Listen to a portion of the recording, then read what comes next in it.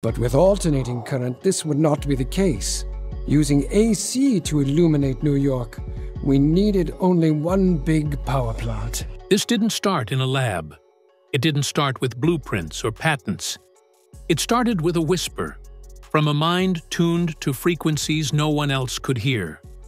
A man is watching lightning and seeing patterns, watching the earth and seeing power.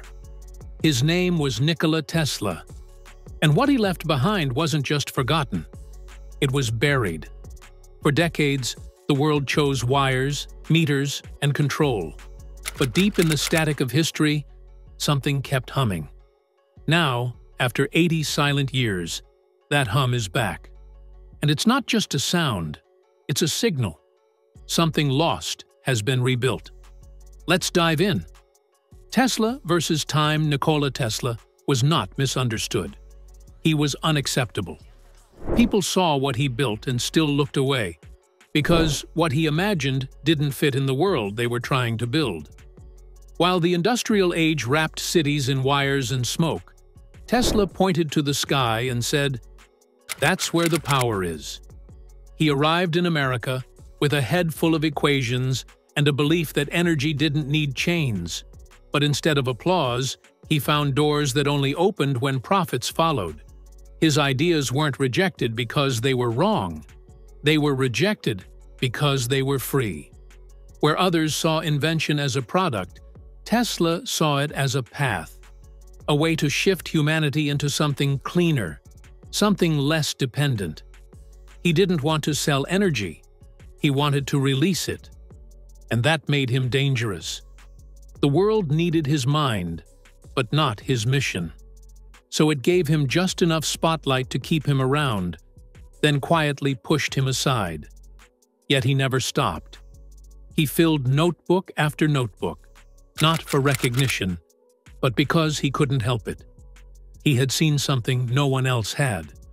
And even if the world turned its back, Tesla kept walking toward it, step by step, idea by idea.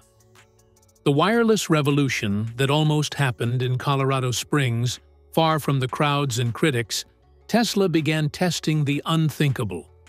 He wasn't trying to send signals. He was trying to send power not through wires or towers, but through the Earth itself. To him, the planet was not just a place we stood on. It was a conductor, a battery waiting to be tapped. He built strange devices that hummed with energy, towers that arced with lightning. Local townspeople told stories of glowing light bulbs without cords. Static filled the air, metal fences that buzzed when touched. Tesla wasn't performing. He was demonstrating. And then, one night, he lit over 200 lamps from miles away. No wires, no grid, just tuned frequencies and raw knowledge. What he proved was that wireless energy wasn't fiction. It was functioning. It worked. But the applause never came. Because what do you do with power that doesn't require a meter? Who profits from a world where electricity flows freely under your feet? He returned from Colorado not with victory, but with warning signs. Backers grew quiet. Newspapers lost interest. And yet, he kept going. Not because he wanted fame, but because he believed what he had started was too important to stop. Tesla wasn't chasing a miracle. He was chasing a map and in those high frequencies and magnetic pulses, he thought he'd found a route the rest of the world couldn't, or wouldn't, follow. The tower that vanished. It rose like a monument to the future, strange, silent, and unfinished. On the coast of Long Island, Tesla began building what he believed would be the world's heartbeat. A structure not for decoration, but for distribution. He called it the Wardenclyffe Tower. To outsiders, it looked like an oversized antenna, but Tesla saw it as the centerpiece of a new kind of world, one where power didn't need wires, where any home, anywhere, could receive energy pulled from the Earth itself, tuned through frequency, and delivered through the air. He had the backing at first, wealthy investors, headlines, and interest from across the Atlantic. But curiosity is a fragile thing. And when one powerful man asked, Where do we put the meter? The answer killed the dream. There was no meter, no switch to sell, just open transmission. Funding disappeared. Friends backed away. Rumors began to swirl. They said Tesla was mad, dangerous, a dreamer gone too far. But even as support collapsed, he kept building. The tower stood. Equipment buzzed. Locals whispered about ghost signals and strange vibrations. Then, without warning, it stopped. The project was shut down. The tower was dismantled. Its pieces were sold for scrap.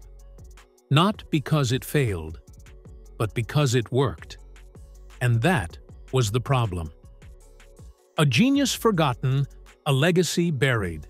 After Wardenclyffe, Tesla didn't crash. He faded. Not with noise, but with silence. One of the greatest minds of the modern era lived his final years in borrowed hotel rooms, walking the same streets where his inventions once lit up the skyline. Now, no one looked twice. He fed pigeons. He scribbled in journals. He spoke of future machines that could pull energy from the air. Most people laughed. They called him eccentric, fragile, and lost in delusion. But Tesla wasn't broken. He had simply become inconvenient. The world had chosen its direction. Fossil fuels, wires, profits. There was no place in that blueprint for a man who wanted to give power away. When Tesla died in 1943, he left no fortune, only a room full of strange devices, sketches, and theories. And within hours, government agents arrived. They seized his belongings, locked them away, labeled them as national security risks. Most of what they took has never resurfaced. It's easier to erase a legacy when it threatens the status quo. Yet, even buried under decades of dust and disinterest, Tesla's ideas didn't rot. They waited. Not in museums or history books, but in fragments, pages, patents. Pieces of a vision that refused to die, because someone, someday, might try to build it again. Now first, like always, be sure to hit the like button down below. It helps us out tremendously with the reach of this video. Thank you. The Liberty engine emerges. It didn't come from a high-tech lab or a corporate think tank. It began in a garage, under dim lights and surrounded by scrap. No headlines, no venture capital. Just the soft hum of possibility and a strange-looking machine. Coils scavenged from broken microwaves. Magnets were pried from discarded speakers. A rotor cobbled together with care, but nothing that screamed innovation. It looked ordinary until it was switched on. Then everything changed. There were no sparks, no drama, just light, steady, quiet, undeniable. Bulbs lit up. Fans spun. Tools powered to life. And none of it made sense, not at first. There were no wires feeding in, no battery packs stashed underneath. Just motion and output, like power, had been coaxed out of thin air. They named it the Liberty Engine. It didn't make the news, it didn't trend, but it started to ripple. Small YouTube channels posted shaky clips, curious voices explaining how it worked. Most shrugged. Some laughed. But others, tinkerers, engineers, and dreamers paid attention. Tear-down videos followed. Every screw, every circuit exposed. No tricks, no secrets, just raw, simple components in a very specific arrangement. And when replicated with care, it worked again and again. Not everyone could get it right, but those who did saw the same thing. Real power, no grid, no gatekeepers, just resonance, magnetism, and intent, echoing a forgotten frequency. Tesla once said the future would speak in vibrations. Maybe we're finally learning how to listen. The science behind the spark. The Liberty engine didn't break the laws of physics. It bent them with precision. At its heart was resonance, not magic, not myth, Just the simple truth that when two systems are tuned to the same frequency, they connect. Like a singer hitting the exact note that makes glass vibrate, the engine aligned its components until energy began to flow, not through wires, but through space itself. Two coils, perfectly matched, communicated silently. One pulsed energy, the other absorbed it, strengthened it, and passed it on. No sparks, no friction, just clean, invisible transmission. Power moved not through force, but through harmony. The rotor spun at a calibrated speed, producing a waveform that synced perfectly with the receiving field. When it lined up, energy jumped effortlessly, almost instinctively. There was no heat, no hum of struggle, just consistent, usable electricity. The materials used were nothing extraordinary. What mattered was their placement. Every millimeter intentional, every layer fine-tuned. It wasn't luck, it was an obsession. And yet, to some, it didn't make sense. Because it wasn't supposed to work. But maybe, as Tesla once hinted, our understanding of energy is still incomplete. Maybe there are forces we've ignored, not because they don't exist, but because we never listened to them at the right frequency. This is your era. This moment isn't random. It didn't arrive by accident. We're standing at a crossroads where the systems we trusted are cracking under their own weight. Energy shortages, soaring bills, resource wars. Climate alarms are screaming louder each year. Entire cities flicker in and out of power while families make impossible choices to keep the lights on. And then, something appears, quiet, unpolished, uninvited. The Liberty engine doesn't ask for permission. It doesn't follow protocol. It just works. And in doing so, it asks a question the world isn't ready to answer. What if we never needed the grid? What if energy weren't something we bought, but something we tuned into? What if control wasn't lost, because it was never anyone's to own? This isn't science fiction. It's science that was ignored. Not because it failed, but because it couldn't be priced.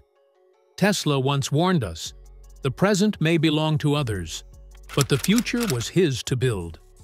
And now, a century later, that future is knocking again. In garages, in basements, in minds that still believe energy shouldn't be sold, it should be shared. This isn't about going back. It's about finally moving forward. A soft hum. A perfect frequency.